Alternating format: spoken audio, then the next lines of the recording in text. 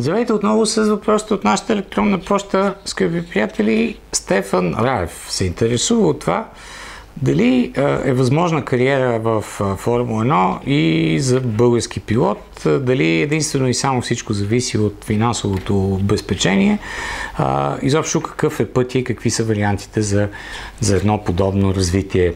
Значи, аз мисля, че доста пъти по, под една или по друга форма сме говорили по, по тази тема и а, отговорът не е много позитивен. Много е трудно да се стигне до Формула 1 и това наистина е свързано с страшно много средства. Не е задължително, естествено, те да бъдат а, осигурени единствено и, сам, и само от дадено семейство, макар в повечето случаи да виждаме точно тази картина, особено напоследък. Но, но все пак а, пътя е приблизително много ясно дефиниран. Той започва с а, участие в а, картинг шампионатите, с успехи в картинг шампионатите, след това с участие в малките формули, едноместни формули, 1602 литра и така нататък, за да се стигне вече до участие в GP3, в Формула 2 и така нататък и така нататък, докато се стигне до, до Формула 1, като а, дори човек да е изминал целият път от картинга, да е спечелил доста титли и да е стигнал до едни прекрасни резултати в съпътстващите състезания, изобщо няма гаранция, че ще може да, да стигне до място в а, Формула 1.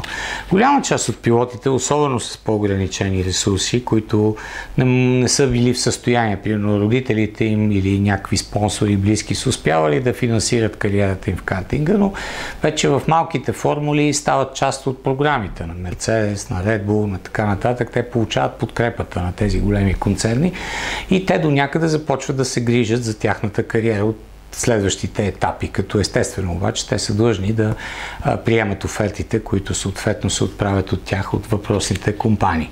Но все пак това е вариант, както примерно Естебан Окон, родителите му продават къщата си, започва финансирането в малките формули, Мерцедес го забелязват, сега е част от програмата на Мерцедес, правят всичко възможно да намерят добра позиция за него, пък и той прави всичко възможно, за да а, демонстрира своя талант. Но а, като цяло е много важно в а, всички тези етапи а, човек да, да демонстрира талант, да има, да има наистина много важни финансови ресурси. И по отношение на това, че, а, как да кажа, България е първо не чак толкова атрактивен, гигантски, голям, интересен пазар, е трудно дори да се търси пряка подкрепа от големите световни компании за пилот с, с наш паспорт, най- най-грубо казано. Няма какво да, да се лъжим. Не, че това е невъзможно.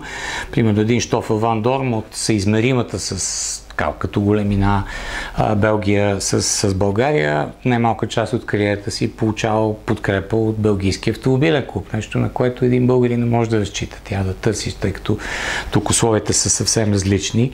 Но, но при всички случаи човек трябва да си подреди много ясно програмата, да, да разбере от къде, какво ще финансира в съответната година в картинга, първи, втори, трети, пети сезон, колкото сезона.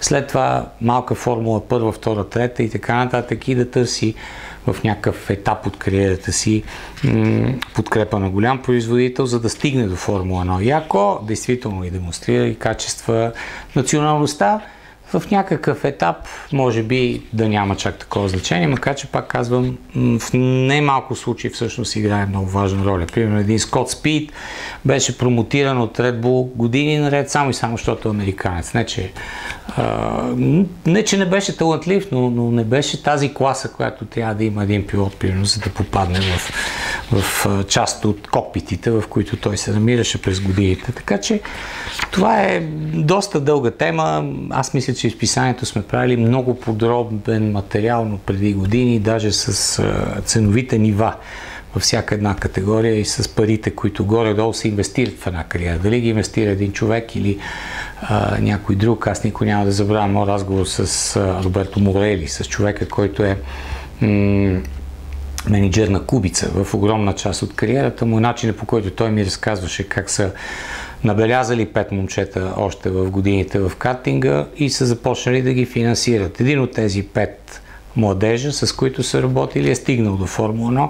Тези имат огромна част от приходите му и се рефинансират реално кариерите на, на всички останали и това, което сега правят за следващото поколение пилоти. Просто един на, на някаква група пилоти излиза в менеджерската група, стига до голям договор и тъй като те взимат една най-малка част от тези пари, връщат си всичко, което са инвестирали в него, инвестират отново и отново. Така както се случи примерно и с Валтери Бота, с Тото Волф, с а, Мика Хакинен, тъй като те са пък финансирали неговата програма и, и развитие още от Формула 3.